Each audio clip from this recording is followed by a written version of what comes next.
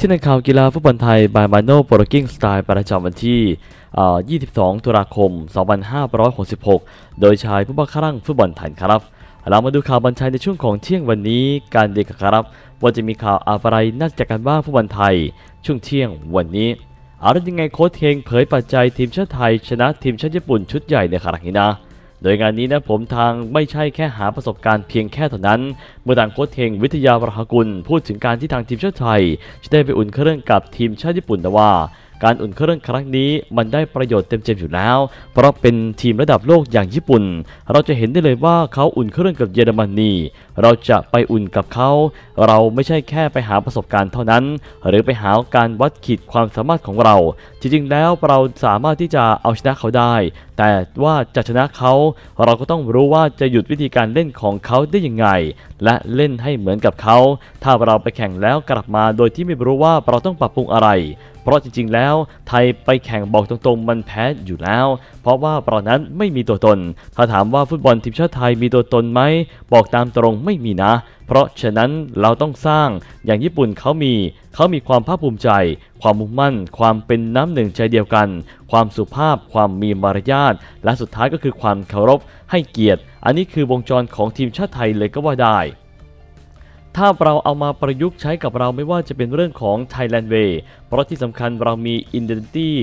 มีตัวตนไหม ถ้าเรามีเราอาจจะไม่ใช่ไม่ชนะญี่ปุ่นในวันนี้ เราอาจจะชนะทีมอะไรก็ได้ในอาเซียนและก็เอเชีย อนาคตในครั้งนี้ก็เป็นได้ เพียงแต่ว่าเราเองก็มีแนวทางการเล่นของเรา หรือว่ายังไม่มี เพราะฉะนั้นมันก็พอจะไม่มีที่กล่าวมาในก่อนหน้านี้ เราปลูกฝังพวกเขาไหม เราต้องสร้างก่อนไหม เราอาจจะชนะไหมในตอนนี้ แต่ในอนาคตนั้นเราชนะอยู่แล้วอาแต่ผมเป็นแต่ว่างานนี้ต้องรอดูกันต่อไปก็แล้วกันว่าจะเป็นเช่นไรเรามาดูประเด็นข่าวชาวบ้านกันครับ วันที่รอคอย ชมลีลาเอกนิตปัญญาแนวรุกทีมชาติไทย ประเดิมเกมแรกที่ญี่ปุ่นครั้งแรกเลยนะ โดยงานนี้ทางมาเซียสกอร์ซ่านะฮะส่งทางเจ้าบุ๊คเอกนิษฐ์ปัญญาแนวรุกทีมชาติไทยประเดิมเกมเจลีกเลีกสู่กับทางญี่ปุ่นเป็นครั้งแรกเลยนะโดยงานนี้ในเกมที่อุราวะเรดไดมอนด์เปิดรังไซตามะคาชิวะเรย์โซลไป2ต่อ0ฟอร์มนัดแรกของแนวรุกทีมชาติไทยของเรา จะเป็นยังไงไปดูกันนะครับ เรามาดูประเด็นข่าวต่อมากันครับ อาเล่นยังไงชนาธิป comeback กดประตู พาบีจีเปิดรังถล่มคู่แข่งยับเยิน โดยสโมสรบีจีปทุมนะฮะพบกับทางตลาด FC การแข่งขันฟุตบอลไทยลีกในฤดูกาล 2023 แมตช์ที่ 7 ที่สนาม BG Stadium ในวันศุกร์ที่ 20 ตุลาคม เกมนี้ทางโค้ชธงธงชัยสุขโกกี ใส่ชื่อของเมสซี่เจ ชนาธิปสรงกระสินธ์ดาวรุกตัวเก่งทีมชาติไทยออกสตาร์ทที่มานั่งสำรอง โดยวางทางสารัชอยู่เย็น ชาวัฒน์วีระชาติเป็นตัวเดินเติมเกมในสนามปรากฏว่าทาง BG ปทุมนั้นโชว์ฟอร์มโหดนะฮะ ไล่ถล่มตลาด FC ไปถึง 3 ต่อ 0 โดย BG ได้ 3 ประตูจากครึ่งแรก 1 ต่อ 0 ดานิโลอัลเวส นาที 22 2 ต่อ 0 เจนรบสำเภาดี นาที39 แล้วก็ครึ่งหลังเมสซี่เจ ชนาธิปสรงกระสินธ์มากดประตูชัย3ต่อ0นาทีที่ 63 ในครั้งนี้ เป็นแต่ว่างานนี้ต้องรอลุ้นกันต่อไปก็แล้วกันว่าจะเป็นเช่นไรเรามาดูประเด็นข่าวจอมานกันครับอาเล่นยังไงโมริยาสึรับนะฮะญี่ปุ่นอาจจะไม่ฟูลทีม รับแข้งทีมชาติไทยในครั้งนี้ก็เป็นได้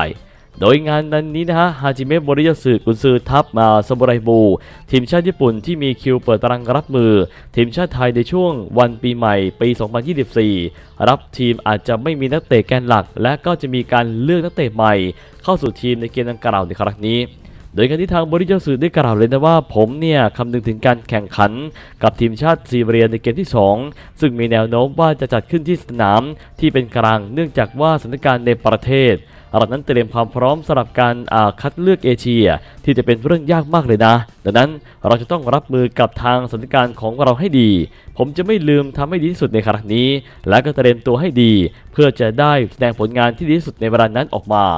โดยงานนี้นะผมทางด้านของอนอกจากนี้กุนซือทัพซามูไรบูเองนั้น ยังได้พูดถึงการแข่งขันในวันปีใหม่ครั้งแรกระหว่างทีมชาติไทย กับทีมชาติญี่ปุ่น เขาบอกว่า